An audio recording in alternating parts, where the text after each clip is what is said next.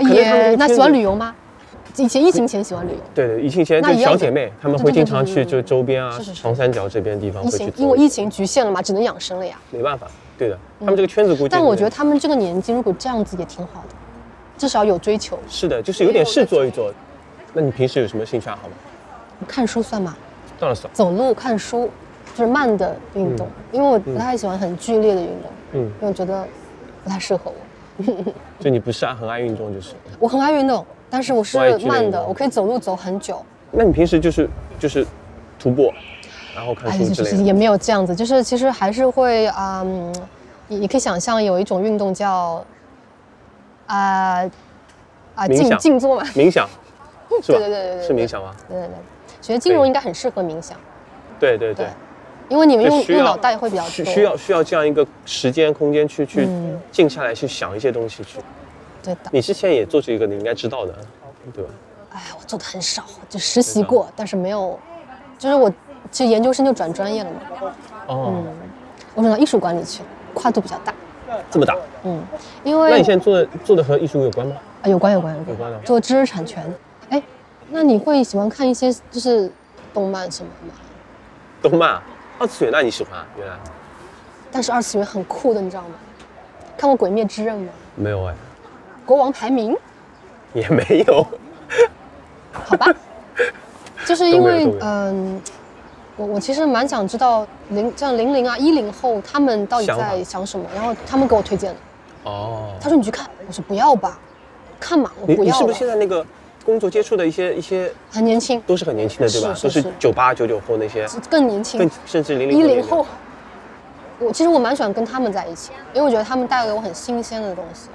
你不可能天天跟妈妈在家里，就是养生之后你就跟她一样。是我觉得是应该是用她的这种态度去过更更新的生活，我觉得是这样。那我感觉你你整个这个生活状态还是蛮好的。然后真的蛮好那可健康了，会八段锦的呢。你别说啊，你现在出去会两招太极，你在朋友中是很吃得香的。比如说他们下午很累了嘛，看完电影怎么说，运动一下。对你不可能去跑步吧？对，乱做也不行，原地来做两招，神清气爽，又不要钱。其实其实我觉得跟效果跟那个瑜伽，其实还普拉提啊这种我觉得是一样的，差差不多，所有都是一样的在于坚持。对，触类旁通的，对。你有没有坚持很久的事情？啊，坚持很久啊，很小时都可以。呃，有一段时间每天晚上坚持十一点睡觉，那挺好的。对，那坚持的也不是很久，但三个月。但是但是我感觉真的也是蛮久的。那有一段时间我就觉得好像身体，因为自己身体一直生病嘛，你觉得跟晚睡有关系？对对对，我觉得能够调整就调整，然后睡觉先调整起来，然后饮食啊各方面啊，都都调整过来。但的确，我觉得是还是有点帮助，也不知道是心理作用还是真的有帮助。但反正觉得哎还可以了。后来为什么用？因为身体好了。对啊，好了伤疤就忘了痛了。那你一般会几点睡觉呢？现在啊，现在十二点半到一点的样子。那那也还好啦。你知道现在零零后都十十点半睡觉吗？他们很关注这些的，我跟他们学的。真的假的？十点半好像稍微有点早了一点，我妈妈说九点半要睡的，我说那那太夸张了，我说。十一点差不多，因为十一点正好是那个就是什么肝经啊，在在运行的时候吗。好的好的，是是。是你问你妈妈，你妈妈肯定知道。好的好的好的，是的。你那个那最近最近这段时间的话，比如说有没有把重心，就是有没有什么小目标之类的？就是、有有有有有。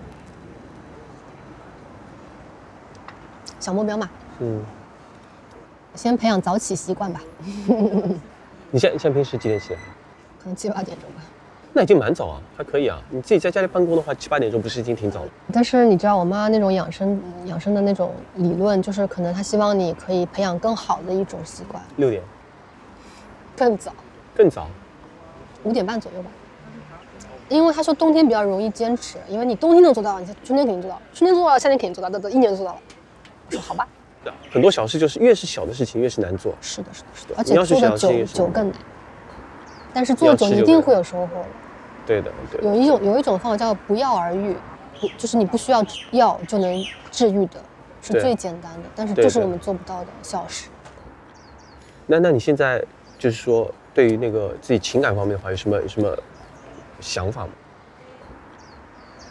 有什么迫切的想法，或者说觉得啊，一定要什么规划，说两三年要怎么样怎么样怎么样？我倒是不会规划一个结果，嗯但是我会觉得我会调整一个心态，嗯因为过去可能会觉得啊、自己就可能完全忽略这些东西，但是你嗯会发现爸爸妈妈对你的这些呃关照啦，你会充耳不闻，或者嗯这个耳朵听那耳朵出，对，不当回事。逆反，但是我越来越可以理解他们现在，因为我突然发现，如果你可以就是有自己的这些啊、事业啦，但是同时也有那个部分，那不是更好吗？对的，对的。我就发现有锦上添花这件事情，就是所以就我觉得会比较开放的心态吧，嗯，对这个，我觉得我也是这样想的。以前可能爸妈讲你会会会有逆反，或者就觉得哎，习惯性的叛逆，对你越是这么说，我越是觉得对对对，但其实回头想想，就像你讲的，还是可以，就是一个开放的心态，能够接受，嗯有一个不是更好吗，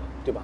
各自精彩，顶峰相见，就是，因为而且我发现其实有一些人在加在一起，他是可以加出一加一大于二的一种效果，对的对的就是那确实是一个人做不到的东西。对我发现，因为我平时会很多跟团体协作嘛，对对对。不管是我自己或参加读书会什么，都很多很多人在一起，你会发现那个是不一样的，它对。给到你的力量它是不一样的。对，就是你在一群人中也更容易看见自己是谁，你也可以对自己有更清楚的认识，因为你一个人就很一面嘛，嗯，那很多面都会给你反馈，对，就挺好的。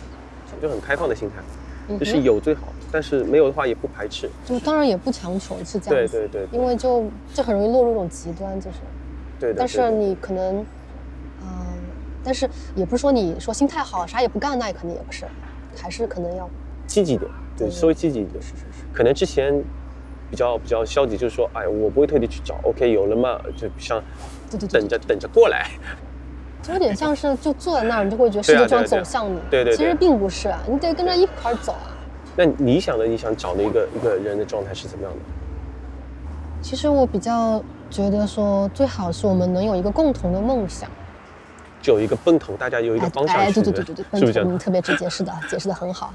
因为我觉得，可能到现在为止，你还是会有一些自己的情感观，嗯，你会觉得，呃，情感这东西它也是可能它是会变化的，不是说嗯嗯不是说感情没有啊，它一定会有一些阶段会变，但是只有一个你们俩共同的很很很牢固的一个一个一个一个小目标，对一个目标才能把你们就一直就是你们都一直往那儿走。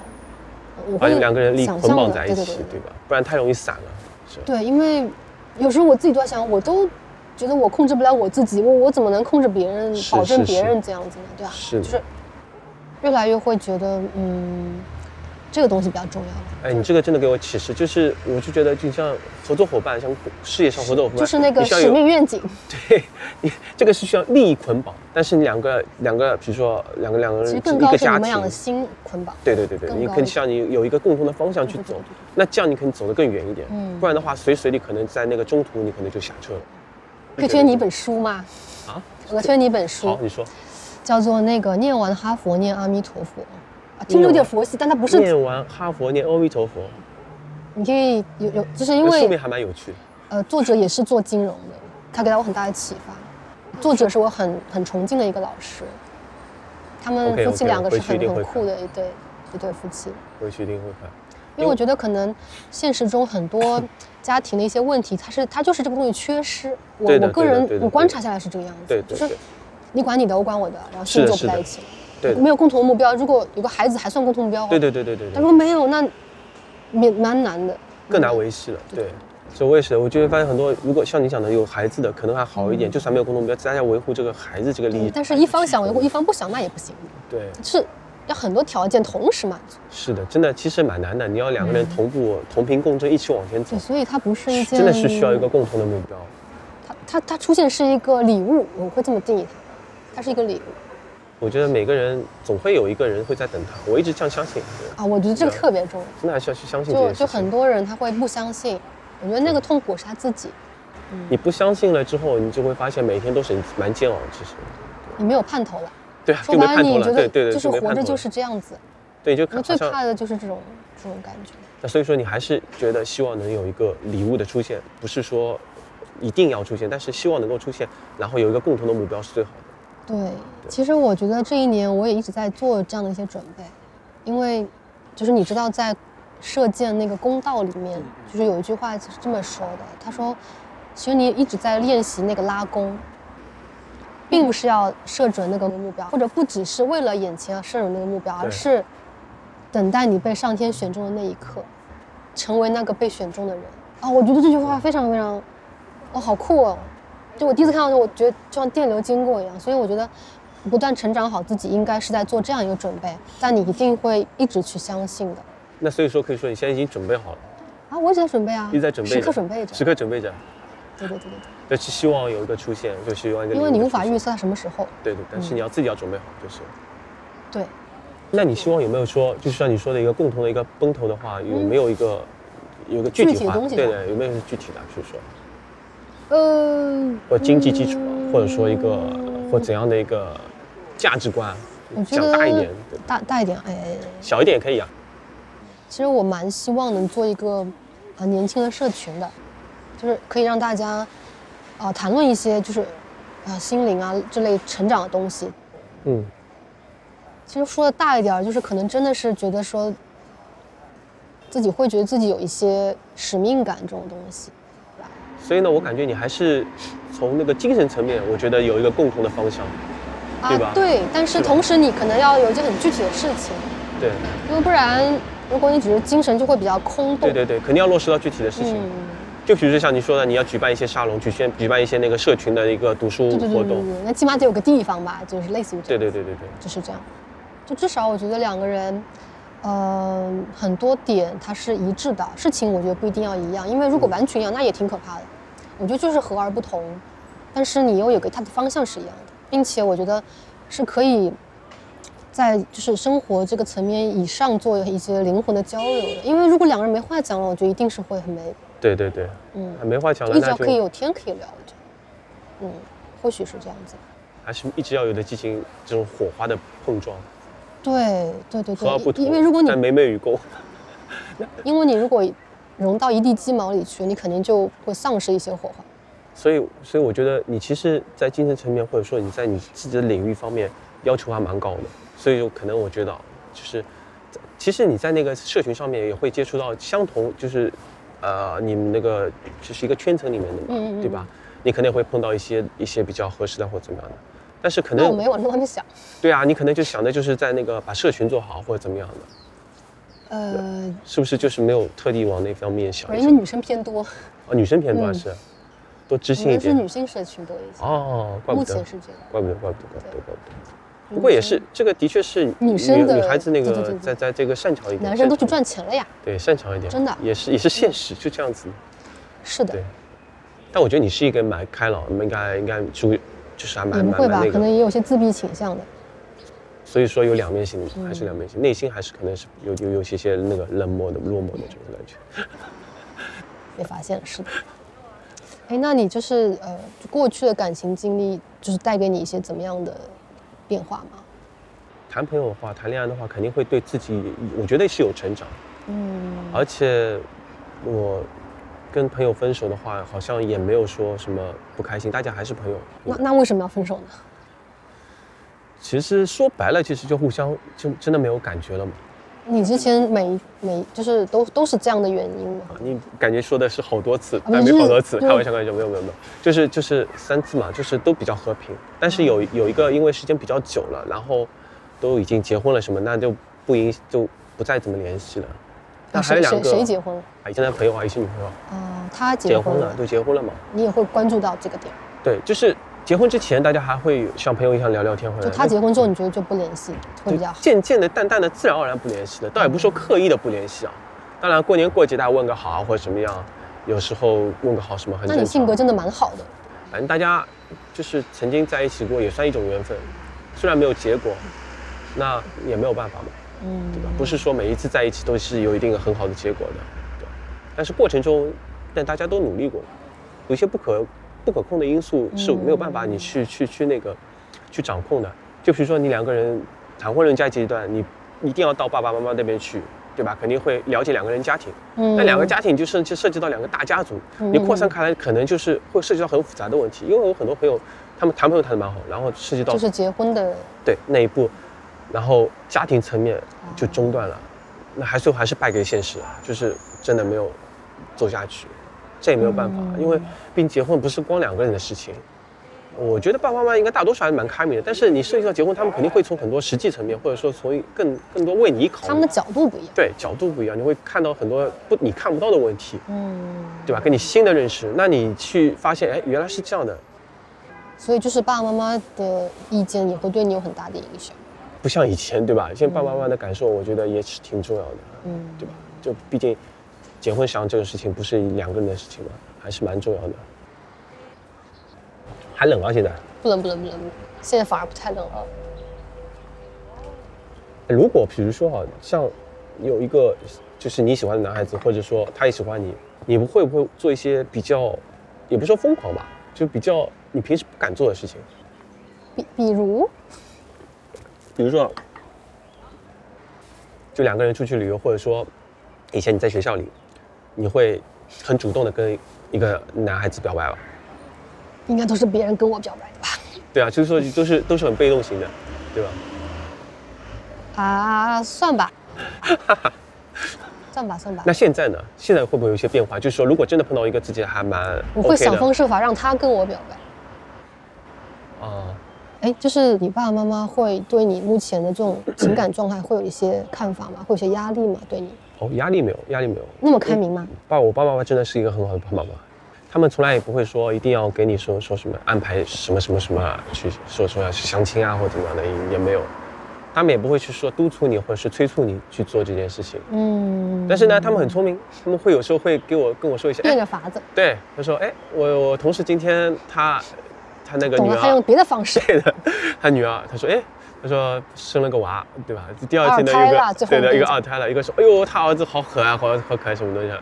一样的，可能女孩子我觉得比男孩子更更那个一点更对更稍微急一点吧，这个也比较现实，我觉得也可以理解对，也可以理，真可以理解。嗯，特别作为爸爸来讲，对吧？是是是，其实生的其实爸爸心里很矛盾的，是不是？